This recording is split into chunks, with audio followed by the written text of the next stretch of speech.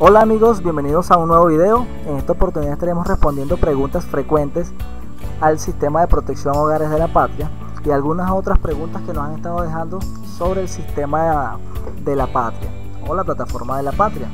La primera pregunta nos la deja el señor Luis M. Y esa pregunta es la siguiente. ¿Los integrantes del núcleo familiar deben estar también registrados al sistema de la patria? Ok, señor Luis, la respuesta es la siguiente, fíjese.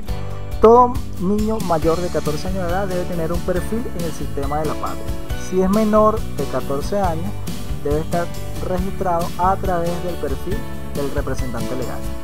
La siguiente pregunta nos la deja el señor Ángel Miguel Pérez Hernández. Él nos pregunta sobre el monto a recibir correspondiente al bono hogares de la patria cuando son tres personas. Y adicionalmente nos dice si le corresponde una parte a cada persona o solamente al jefe de familia.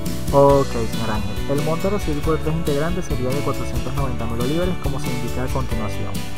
Ese bono lo recibe en cuenta del jefe de familia. Ya la distribución que él haga del dinero ya corre por cuenta de cada uno de ustedes. Esta pregunta nos la deja el señor Mario Suárez. Él nos dice, cuando los integrantes del núcleo familiar son menores de edad sin cédula, ¿cómo hago? Ok, Señor Mario, a continuación le vamos a explicar de manera gráfica en el sistema de la patria cómo hacer en este caso. Va a ingresar al sistema de la patria y va a ir al menú familia y va a ir al apartado agregar. Va a agregar no cedulado, menor de 9 años y va a completar todos los datos de esta persona, comenzando con la cédula del representante legal.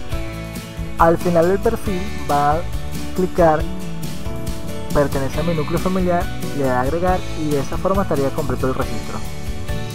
La siguiente pregunta viene del señor Kiko Martos y del señor Decker Eliezer. Ellos nos preguntan cómo eliminar el perfil de jefe de familia ya que van a ser asignados a otro núcleo familiar distinto. Este proceso lo vamos a explicar a través de una descripción gráfica que mostraremos a continuación en la misma plataforma de la patria. Comenzamos ingresando por el perfil del jefe de familia que los desea agregar. Y vamos a ir al menú familia. Y vamos a clicar en agregar. Vamos a agregar los datos completos de la persona. Una vez agregado va a aparecer esta solicitud como espera de confirmación vamos a ir al perfil de la persona que acabamos de agregar y vamos a ir al menú familia. Vamos a ir a por confirmar del lado izquierdo de la pantalla. Ahí vamos a confirmar que esta persona es familiar de nosotros. Allí mismo vamos al núcleo familiar y del lado derecho de la pantalla indicamos que no somos jefe de familia. Luego el sistema nos lleva a seleccionar nuestro jefe de familia de familia, guardamos y el sistema nos dice que ya fuimos integrados a un nuevo núcleo familiar correctamente. La última pregunta nos la deja la señora Herminda Guillén. Ella nos dice, ¿cómo corregir el número de cuenta bancaria que se agregó un número de más? Gracias.